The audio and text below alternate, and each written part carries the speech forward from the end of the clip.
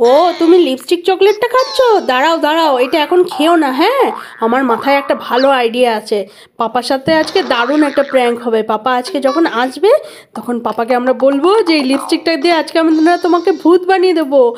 আর পাপা খুব ভয় পেয়ে যাবে, দারুণ মজা হবে, ঠিক আছে? চলো চলো। ওই তো, পাপা চলে এসছে। চল চল তিতি হ্যাঁ দেখো দারুণ একটা নতুন লিপস্টিক এনেছি এটা আজকে তোমার উপর ট্রাই করব।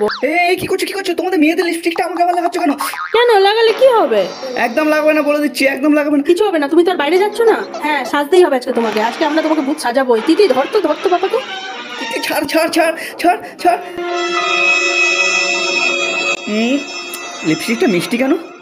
মিষ্টি লাগবে না? এটা তো একটা জেলি চকলেট লিপস্টিক নয়। এই দেখো দেখছ কেমন জেলি বেরোচ্ছে? চকলেট? এ মা আমি কত বোকা দেখো। আজকে মাঠে গেছিলাম না? তখন নিয়ে আসছি তুমি তো আমাকে ভয়ই পাওয়ি দিয়েছিলে।